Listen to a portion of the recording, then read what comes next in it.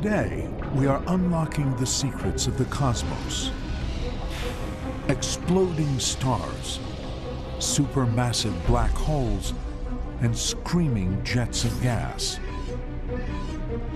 Across the world and in space, high-tech telescopes are picking up the signals that reveal a hidden universe.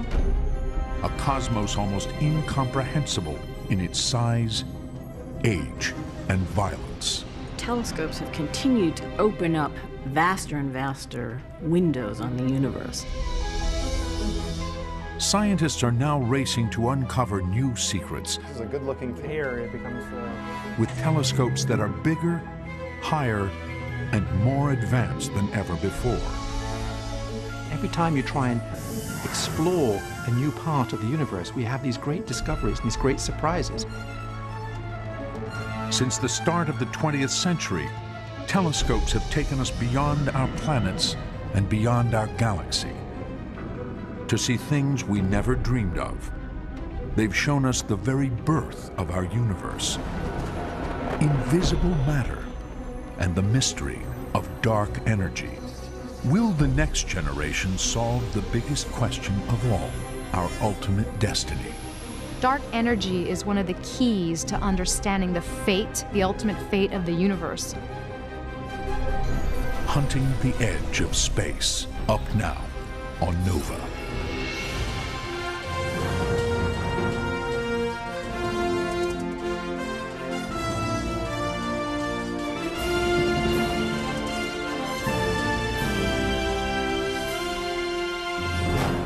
Major funding for NOVA is provided by the following.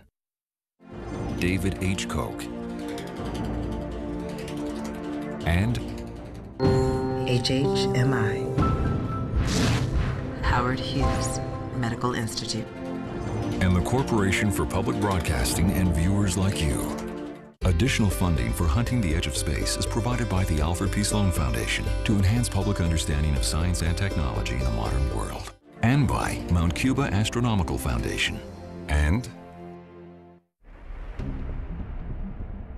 At the dawn of the 20th century, our galaxy, the Milky Way, was the entire known universe.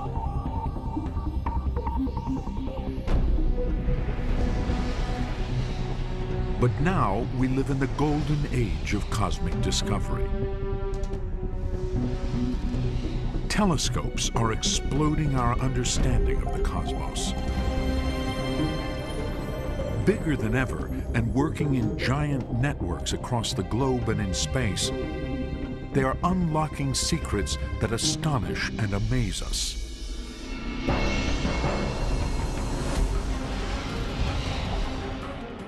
The planets of our solar system in breathtaking detail. The majestic rings of Saturn and rolling storm clouds on the surface of Jupiter. But far beyond our solar system, we are now discovering exoplanets orbiting other suns. And beyond our galaxy, another hundred billion galaxies, like Andromeda, Sombrero, and Whirlpool, each harboring hundreds of billions of stars. We've detected supermassive black holes spinning violently at the very centers of galaxies, including our own. We've witnessed supernovas, exploding stars millions of light years away, spewing out superheated gas at 600,000 miles per hour. And deep inside clouds of gas and dust, billowing trillions of miles high, we can glimpse new stars being born. Telescopes have continued to open up vaster and vaster windows on the universe. Now, the latest telescopes are revealing the invisible mysteries of space that we are only just beginning to understand. The hidden scaffolding our entire cosmos is built on. And dark energy, a powerful and invisible force that is pushing our universe apart. Every time you try and explore a new part of the universe, we have these great discoveries and these great surprises.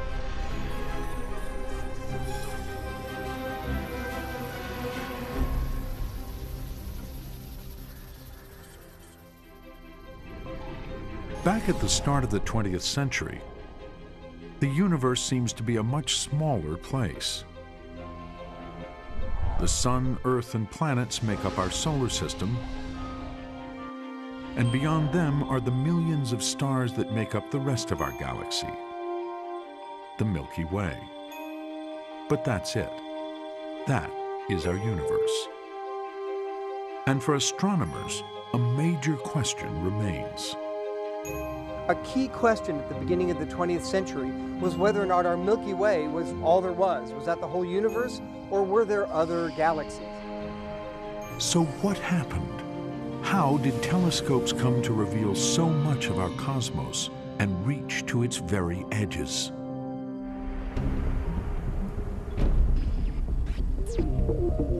The revolution starts in the early 1900s.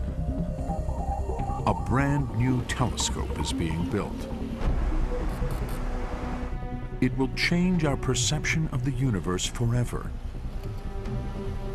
explode the edges of the cosmos and set us on a voyage of discovery that is still going on today.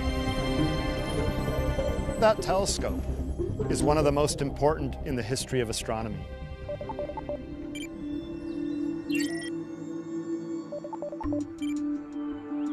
The first steps in the revolution. An astronomer is hiking up Mount Wilson, a 5,700 foot peak high above Pasadena, California. He's rising above the clouds and haze of the lower atmosphere, which distort telescopic images. He wants to see if it is possible to build an observatory at the very peak of the mountain, where the air is thin and crystal clear. There was a growing realization that for really good astronomical seeing, you had to find good sites rather than just build a telescope where you happen to have an old observatory. And people have begun to realize that the mountains in the west of the United States offered real possibilities. 100 years ago, the simple idea of putting an observatory on top of a mountain is revolutionary and an enormous logistical challenge. Hundreds of tons of steel and concrete have to be carefully hauled up the narrow mountain roads. But the clear skies are worth it. Mount Wilson will become the highest observatory on Earth and a blueprint for observatories all over the world. This observatory is the vision of one man, George Ellery Hale. His mission to solve the greatest mysteries in the cosmos, to find out if there is anything beyond our galaxy.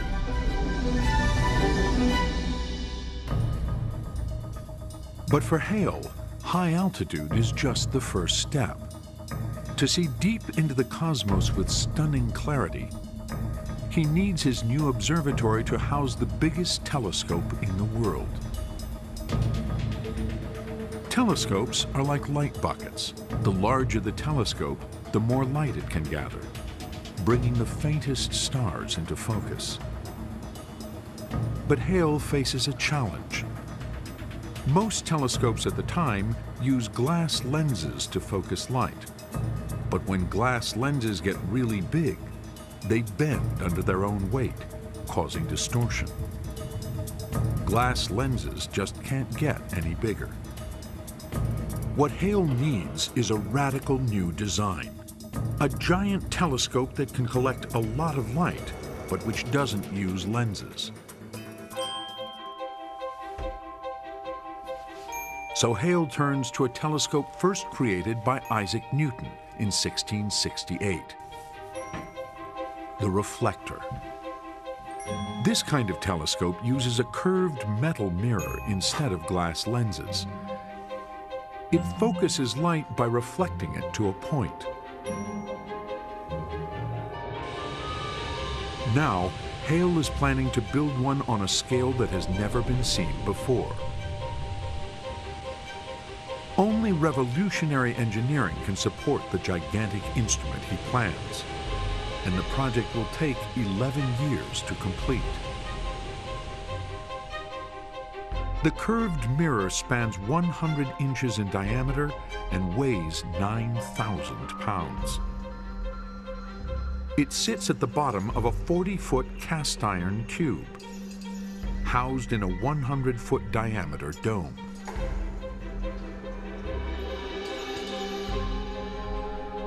Finally, in 1917, the biggest telescope the world has ever seen sparks wonder amongst the public.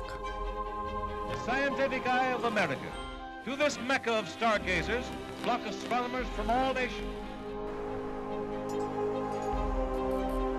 In the pantheon of telescopes in astronomy, Mount Wilson, it is no exaggeration to say, is probably the most important telescope in, in the history of cosmology. Discoveries that were made here really put it onto the map.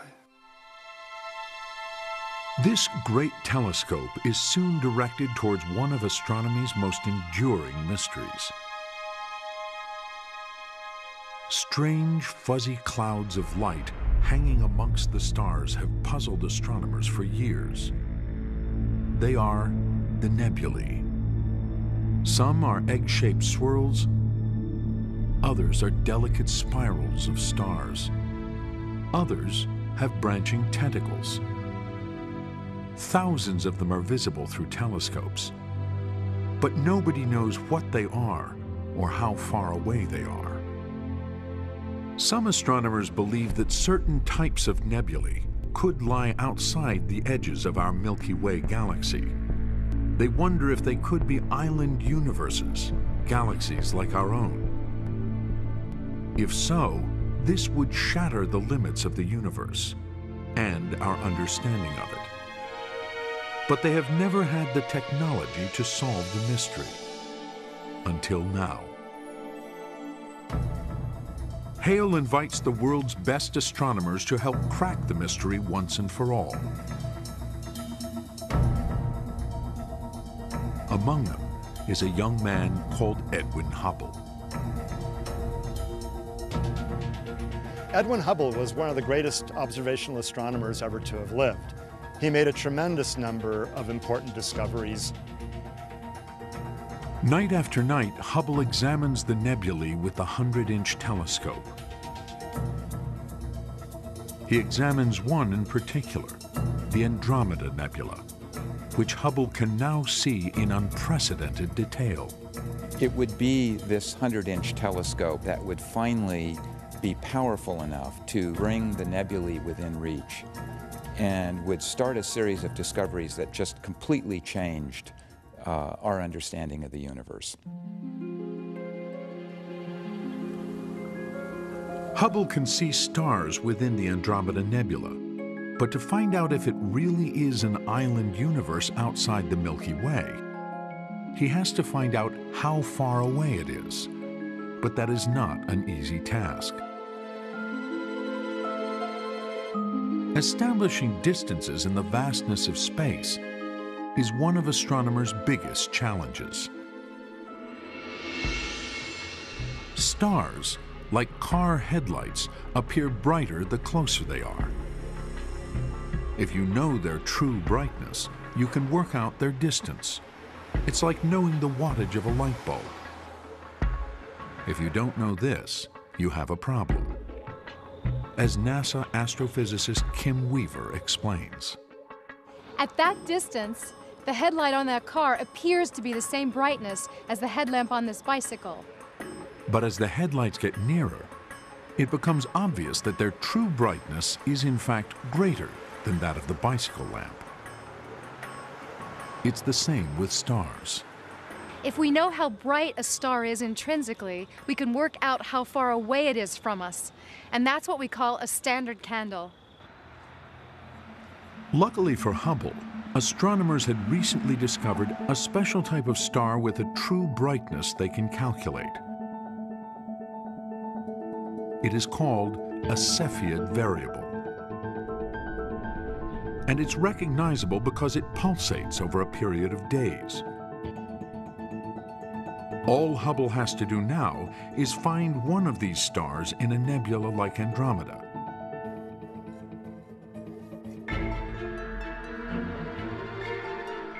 At night, he scans the heavens with the 100-inch mirror. By day, he analyzes the photographs he has taken, hunting for any stars that have changed brightness. Then, on October 6, 1923, after months of work, Hubble strikes gold. A Cepheid variable on the edge of Andromeda. I'm looking at the original discovery plate of Edwin Hubble, where he first found a Cepheid in the Andromeda galaxy. And he actually marks on this plate um, between two black lines where the position of the Cepheid is, and he writes VAR exclamation mark. Uh, when he realizes it's a Cepheid. So he's compared two different plates and he's discovered that this thing is actually changing in its brightness. Hubble can now make a measurement that will change history. The distance to one of the nebulae. He works out that Andromeda is about 800,000 light years away. That's more than eight times the distance to the furthest known stars in the Milky Way. This means Andromeda has to be outside the Milky Way, a whole new galaxy beyond our own. This is irrefutable evidence. Uh, he's very excited. He writes it with an exclamation mark because he realizes the significance of the discovery.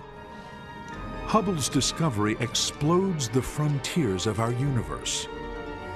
Our Milky Way galaxy is no longer all there is in the cosmos.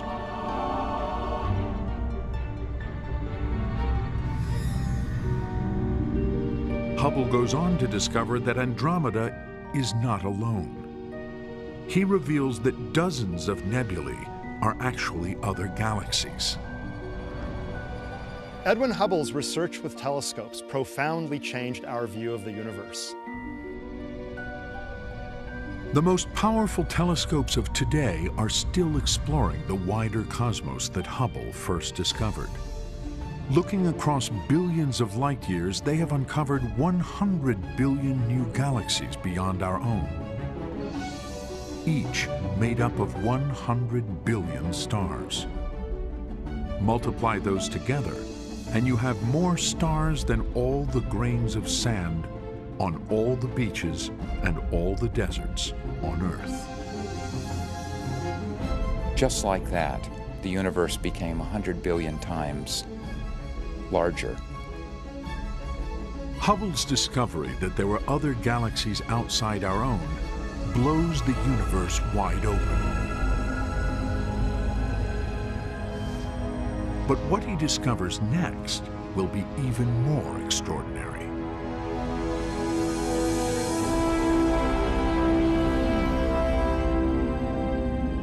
Several years earlier, other astronomers had discovered that many of the nebulae now identified by Hubble as galaxies, were moving away from us. Now, Hubble wants to work out why, and he will do it by analyzing light itself. He uses a method first discovered in the 1800s. This is a spectroscope made in about 1880 one of the first generation of instruments used for analyzing the light from the sun.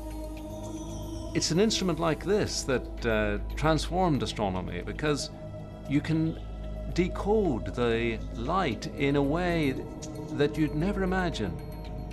The spectroscope splits white light into its rainbow spectrum of colors, and hidden in this spectrum are clues to the behavior of the stars.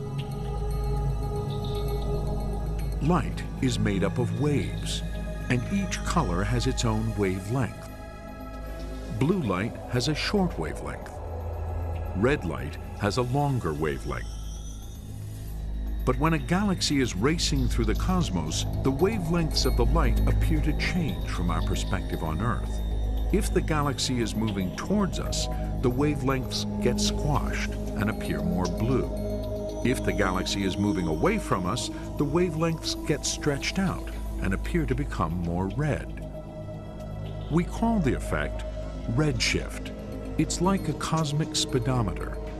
The faster a galaxy is moving away from us, the more its light waves are stretched towards the red.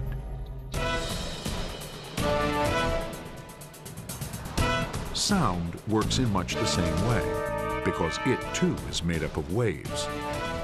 As astronomer Alex Filippenko explains.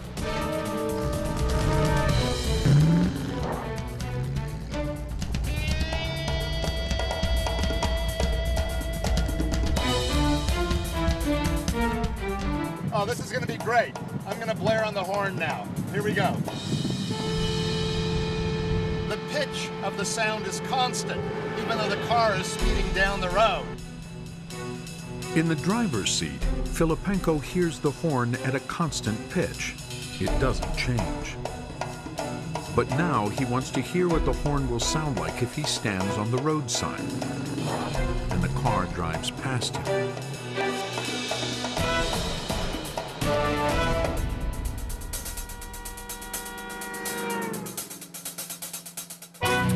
When the car was coming toward me, the waves from the horn were being squished together, so the pitch sounded higher. And as the car passed me and moved away, the waves were stretched apart, so the pitch sounded lower. So it sort of went like that. If that blue car had been going fast enough, the high frequency blue light would have been stretched apart, then the blue color would have shifted all the way to red. The car would have looked red to me. That's known as a redshift.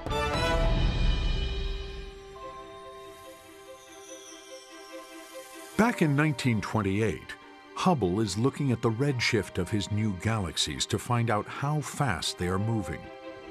He sets out to chart the speeds of galaxies both near and far. He wants to see if he can find any correlation between how fast they're moving and how far away they are. Night after night is spent painstakingly analyzing the light from galaxies. The final results are staggering. Hubble discovers that the farther away a galaxy is, the greater its redshift, so the faster it is moving away. By 1929, he had established uh, a very interesting relationship between them. The nebulae that are farther away are moving faster away. Hubble comes to an astounding conclusion. The universe is expanding. The galaxies may look like they are traveling away from us, but in fact, it is space itself that is stretching apart. Here's a good analogy of how the expanding universe works. Now this is a hypothetical one-dimensional universe where the ping pong balls are the galaxies and the hose is the space between them. As the space expands, all of the ping pong balls recede away from one another. And every bit of space expands. The more space there is, the faster the distant one looks like it's expanding away from us. Hubble's discovery is one of the greatest breakthroughs in the history of astronomy. The universe is not static. It is growing bigger and bigger. These galaxies are moving apart from one another because space itself is expanding between the galaxies. That was a marvelous discovery. Hubble could never have made his discoveries without the 100-inch telescope on Mount Wilson.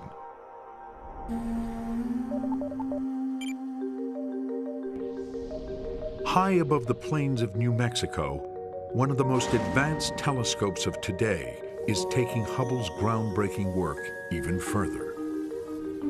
The Sloan Digital Sky Survey is analyzing starlight from hundreds of thousands of distant galaxies. Each aluminum disk is a galaxy map for a small part of the night sky. So we've got 640 holes on an aluminum plate. Each hole corresponds to a galaxy, many millions of light years away. Optic fibers link each hole to a high-tech version of the spectroscope used by Edwin Hubble. It will measure the redshift of the galaxies. Then technicians insert the map into the base of the telescope and match it up to the right section of the night sky.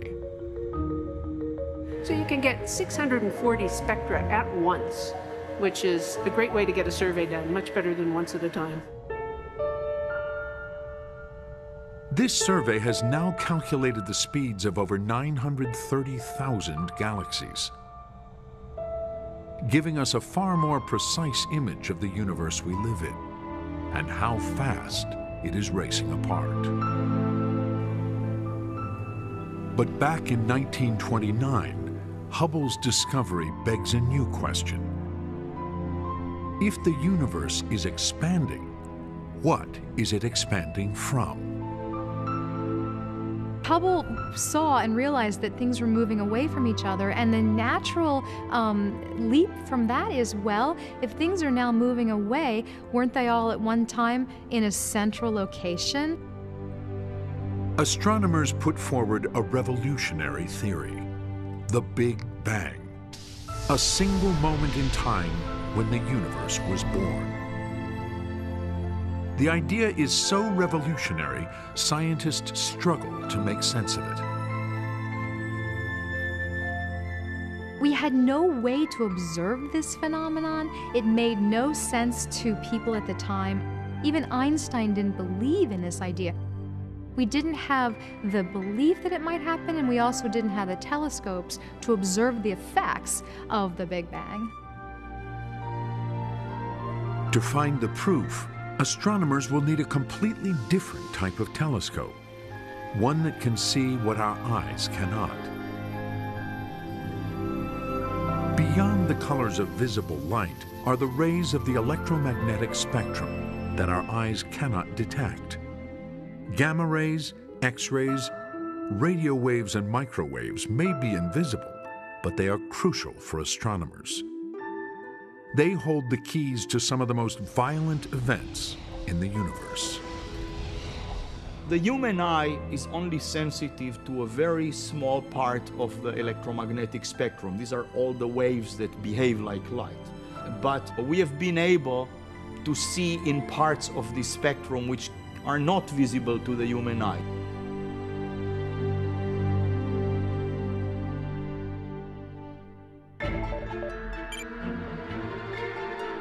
1964.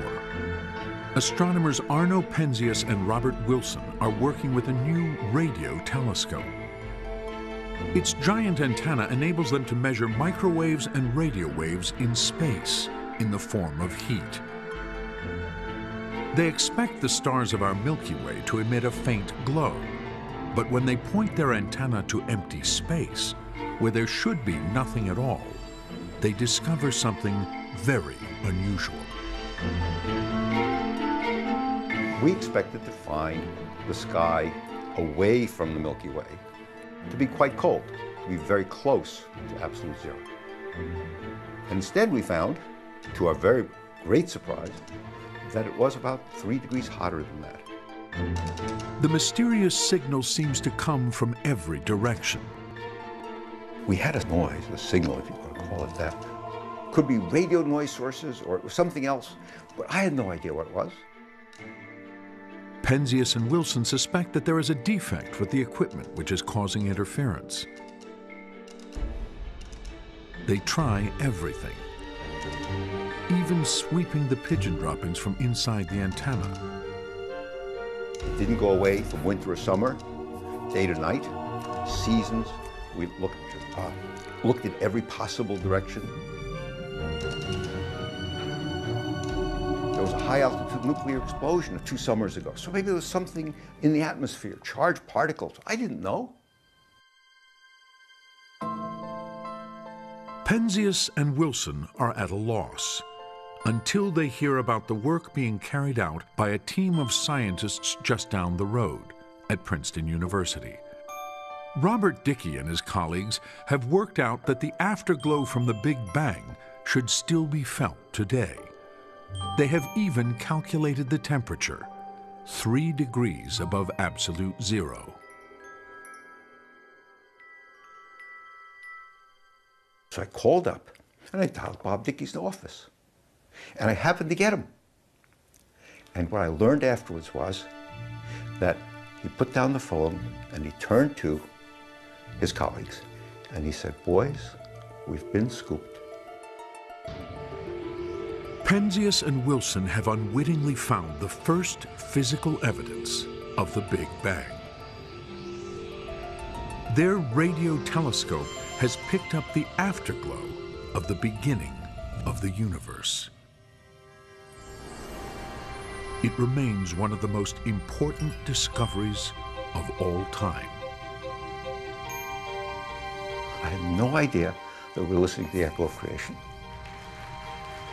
In 1978, Penzias and Wilson received the Nobel Prize. To be on a list with Albert Einstein, to be on that same row, was almost too much, was too much to bear. I just couldn't think of comparing myself against the people who have won Nobel Prizes. In 1964, when the background radiation from the Big Bang was discovered, it was for the first time direct evidence that there was a hot Big Bang, an origin to our universe. Penzias and Wilson have found direct proof for the Big Bang. But it will take another 37 years and far more sophisticated microwave technology before we discover how the Big Bang formed the universe we see today.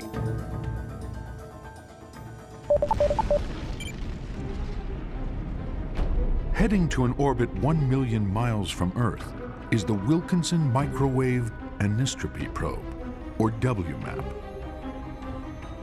A super advanced version of Penzias and Wilson's giant antenna, armed with two reflecting telescopes. WMAP's mission is to examine the afterglow of the Big Bang in extreme detail and to try and find out why galaxies formed. With WMAP, we were trying to look way back to the very, very earliest times in the universe. After a year of recording, the first results are mapped. The WMAP observations were incredible. Instead of a smooth background radiation, you could measure to one thousandth of 1% changes in the temperature across the sky.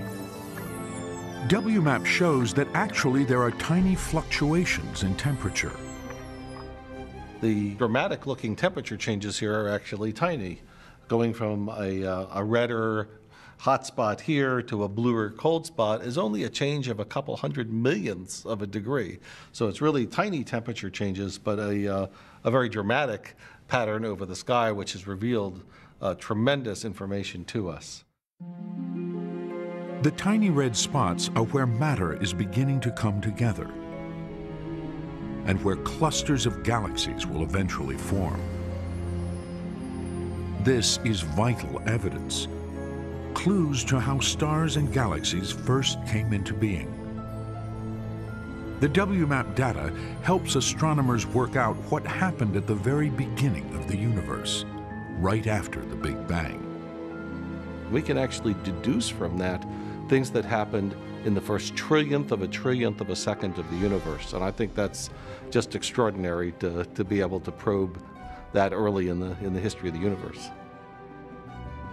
And WMAP's accuracy allows astronomers to solve another great cosmic mystery the exact age of the universe. For the first time, astronomers have an accurate figure. We now know that the universe is about 13.7 billion years old. That's very old, but it's not infinite. It could have been infinite, but it's not.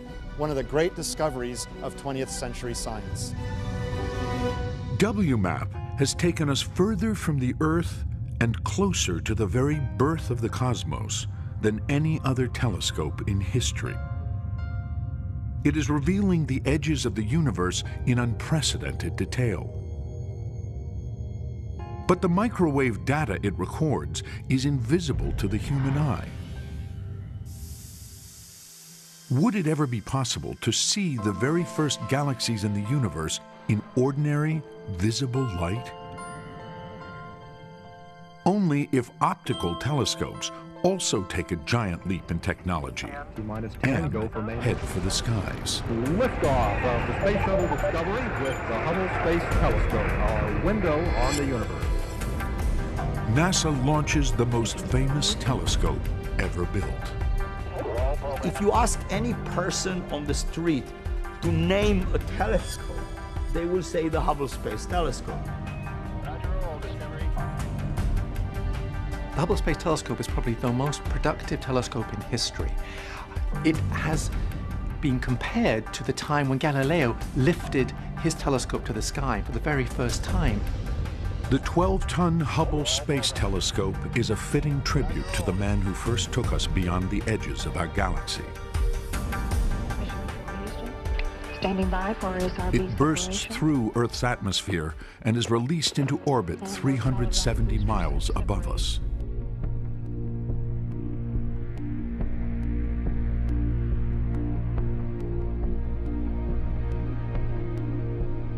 Ever since Hale built his observatory on a mountaintop, astronomers have dreamt of having a telescope in space. Here, far above the interference of the Earth's atmosphere, there's no haze, smog, or cloud to obscure the light streaming in from the universe.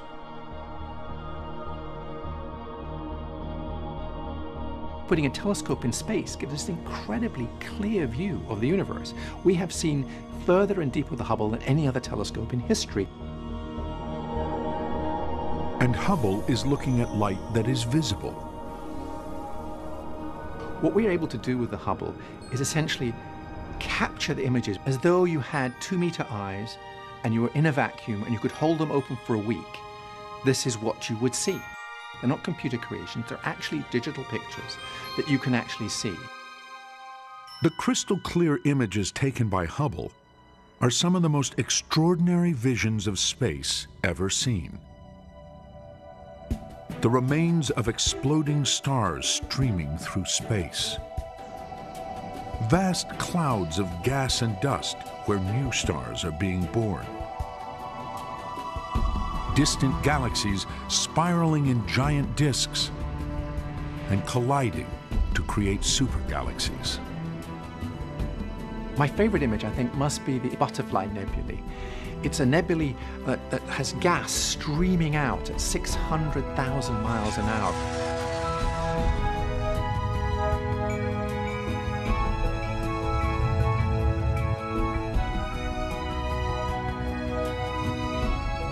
Telescopes are time machines.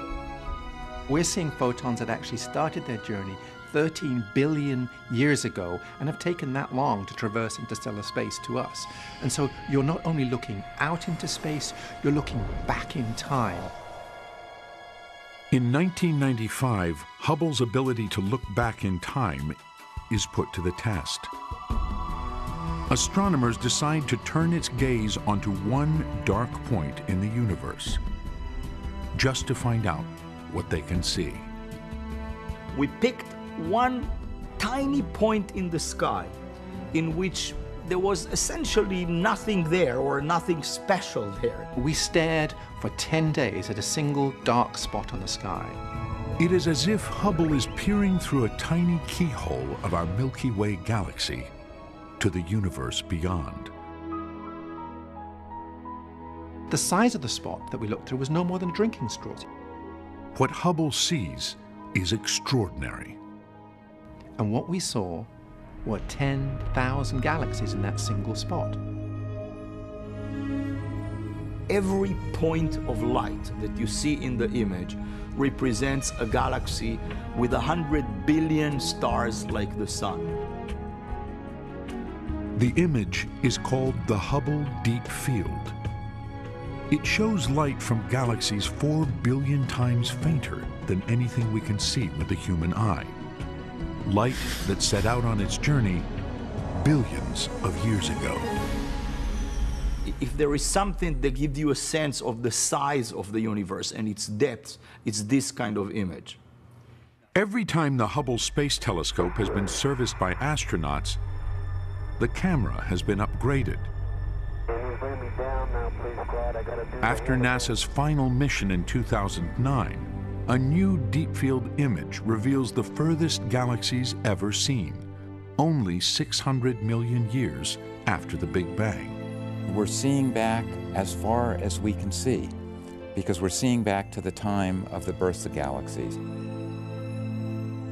The Hubble Space Telescope is taking images that continue to amaze us.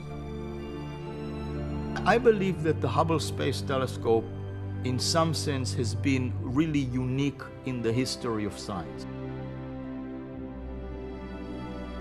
It has taken really the excitement of discovery and has made it, you know, to belong to every home, to humans all across the globe.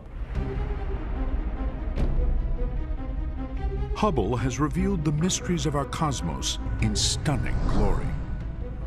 Now, it is working within a vast network of modern super telescopes to investigate a discovery that has rocked the world of astronomy. A discovery that threatens to turn everything we thought we knew about the universe on its head. An enigmatic force called dark energy. Dark energy is the most mysterious thing we've ever discovered. It's an energy that seems to be created out of nothing, out of the vacuum. But we have no idea what it is. Dark energy's discovery comes as a complete surprise. In the mid 1990s, on Mauna Kea, Hawaii, at the Keck Observatory, a team of astronomers, including Alex Filippenko, is scouring the distant cosmos. They know the universe is expanding, but will it really expand forever? They have a theory. The universe might actually stop expanding and start slowing down. Just like when I throw this apple in the air, the gravitational attraction of the Earth on the apple slows it down and eventually stops it and reverses its motion, so too all the galaxies pulling on each other could slow down and ultimately stop the expansion of the universe, to be followed then by the collapse of the universe into a big crunch. So is the universe really beginning to fall back in on itself? To measure the speed of the very edges of space, astronomers need the most powerful telescopes on Earth. The giant mirrors of the Keck telescopes are 33 feet in diameter. Made not from one single disk of glass, but 36 hexagonal mirrors working together. They give a single image of exceptional clarity. The Keck telescopes are really fantastic devices. They can allow us to see galaxies that are literally at the visible edge of the universe, 10, 11, 12 billion light years away. But to find out how far away these distant galaxies actually are, astronomers need a standard candle, a star that will act as a cosmic yardstick. But the Cepheid variable stars that Edwin Hubble used are too faint at the extremities of the cosmos. The astronomers need to hunt for an especially bright kind of star inside the furthest galaxies. There, if you squint, you can kind of... The deaths of these stars cause some of the most devastating explosions known to humankind. They are called supernovae. A supernova is quite literally an exploding star. Now, most stars don't explode at the end of their lives, but a few completely disrupt themselves in a colossal, titanic explosion. And not just any type of exploding star will do. They're looking for a type of supernova that explodes with a very intense and consistent brightness. A type 1A. They go off as a gigantic nuclear runaway. They're essentially a gigantic nuclear bomb. In the most distant galaxies of the universe, they find what they are looking for. Type 1A supernovae. That looks good. There it is, there it is. Yeah. Look at that. Yeah. It's a little bit fuzzy. Now they measure the redshift to calculate how fast these distant galaxies are moving away. Finally, in 1998, after years of research, they come to a shocking conclusion. The expansion of the universe isn't slowing down at all. It's speeding up. Much to our surprise, we found that the universe is expanding faster now than it used to be. So instead of slowing down, it's been speeding up. So it's like the apple goes zoom like that. A completely fantastic conclusion. A mysterious force that no one can see is defying gravity, pushing the universe apart faster than ever. It is the force astronomers now call dark energy. There's the possibility that Einstein's gravity is incomplete, that we don't understand gravity. There's a possibility that it could change some of the fundamental laws of physics. But what dark energy actually is, and what it will do to our universe, remains a mystery to this day. Dark energy is one of the keys to understanding the fate, the ultimate fate of the universe. Is it going to expand forever? Will it continue to speed up? Will the speed up speed up? In which case, the whole universe gets ripped apart. The one thing astronomers do know is that dark energy makes up most of the universe. We discovered since that this dark energy is some 72% of the energy density of our universe, and yet we don't know what it is. I mean, just so that you understand the level of the puzzle, I mean, you know, about 70% of the surface of the Earth is covered with water, right? Imagine we didn't have a clue what, what water was. This is the situation we're in. As if one invisible mystery isn't enough, scientists at NASA's Jet Propulsion Lab are investigating an equally mysterious invisible substance, dark matter. Dark matter is basically invisible we can only see it by looking at how it distorts things uh, that are behind the dark matter. Images taken by the Hubble Space Telescope are now helping to reveal where dark matter can be found in the universe. Hubble's images show that this invisible substance is bending light. A good analogy is a pool of water. If you went out and you threw a penny into the bottom of the pool. You would look down at that penny, and you can see the penny very clearly because the light from the penny is coming through the water. The water is essentially invisible. But the shape of that penny is distorted because that light travels not a straight path, but a slightly curvy path through the water to come to our eye. Dark matter has a similar effect. It exerts a powerful gravitational pull on light from distant galaxies.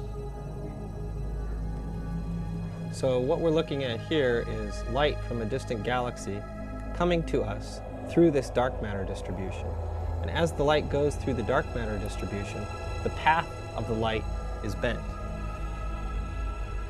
Astronomers calculate that dark matter makes up 23% of the universe.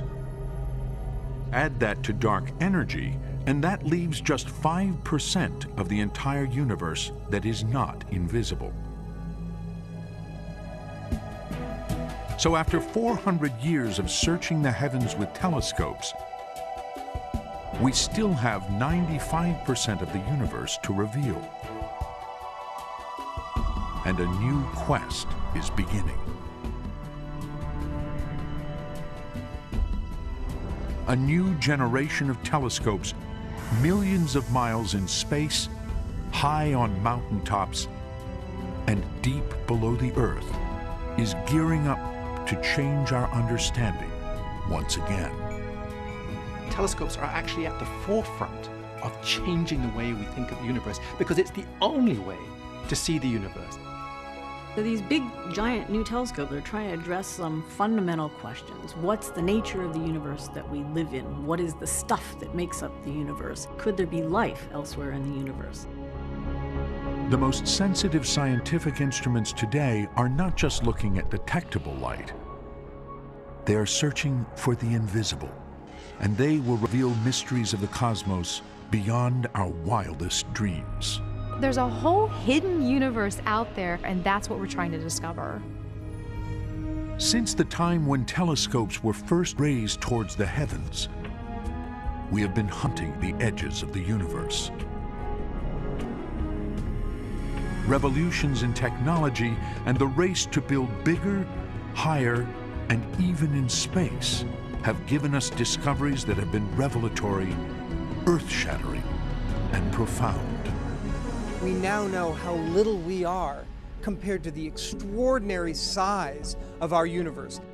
We are even on the brink of discovering planets with the building blocks for life. Are there Earth-like planets? Could there be life elsewhere in the universe?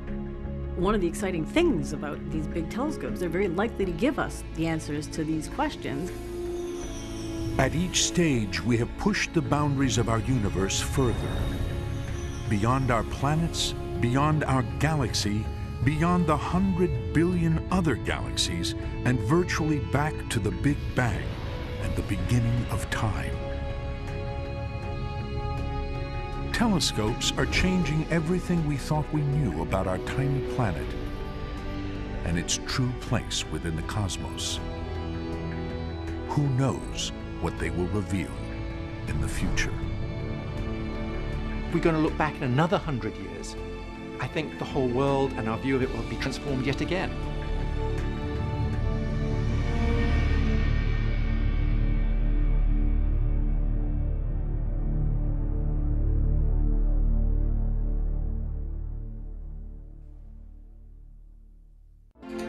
Major funding for NOVA is provided by David H. Koch and HHMI.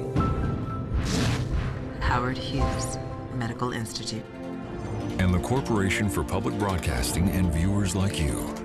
Additional funding for Hunting the Edge of Space is provided by the Alfred P. Sloan Foundation to enhance public understanding of science and technology in the modern world. And by Mount Cuba Astronomical Foundation. And on NOVA's Hunting the Edge of Space website, see the next generation of giant telescopes and learn more about our cosmos, filled with black holes, dark matter, extrasolar planets, and other mysteries. Find it at pbs.org. This NOVA program is available on DVD at shoppbs.org or call 1 800 PLAY PBS.